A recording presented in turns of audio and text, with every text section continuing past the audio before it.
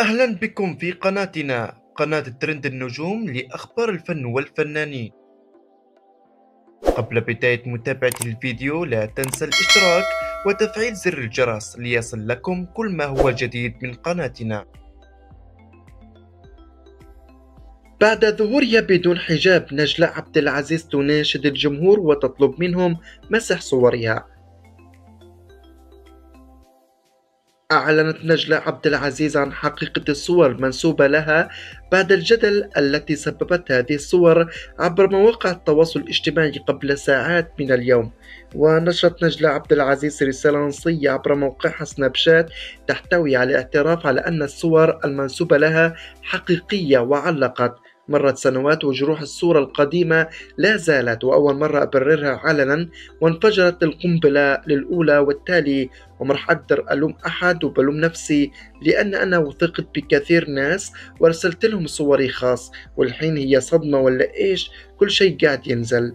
وبعد ذلك علقت برسالة ثانية تناشد فيه الجمهور بمساعدتها على عدم الصور وحثها بسبب انهيار عائلتها وهذا ما جاء بالرسالة. إيه أنا والحين بعد كل هالتداول والكلام والششرة بقولكم أهلي وإخواتي وأنا واللي حولي منهارين جدا وأولهم أمي وأهم شيء أمي لأنها جدا محافظة تكفون علشانها أبي هالصور كلهم ينحذفون من كل حساب.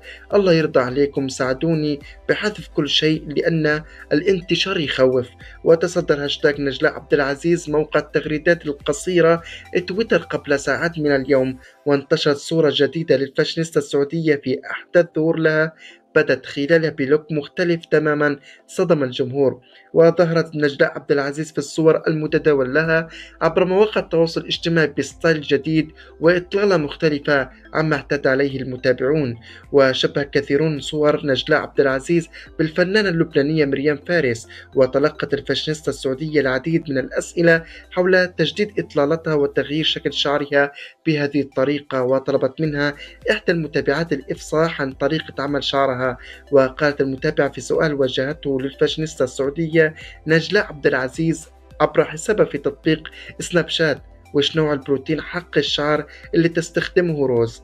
لتجيب نجلاء عبد العزيز موضحة سر تجديد style شعرها اللي سوت لروز البروتين سوت لي شيء بشعري ما أدري كيف أشكرها عليه. تخيلوا أنا من زمان أتمنى أكون ب look مثل مريم فارس بالشعر ودايم ال curly ما يضبط معي. الحين أبشركم ضبط مرة ال curly وأنا متفاجئة بشكل كتير شبهوني بمريم فارس يعني الحلم تحقق وأخيرا واختتمت نجلاء عبد العزيز بعلمكم عنها لما برجع الرياض إن شاء الله.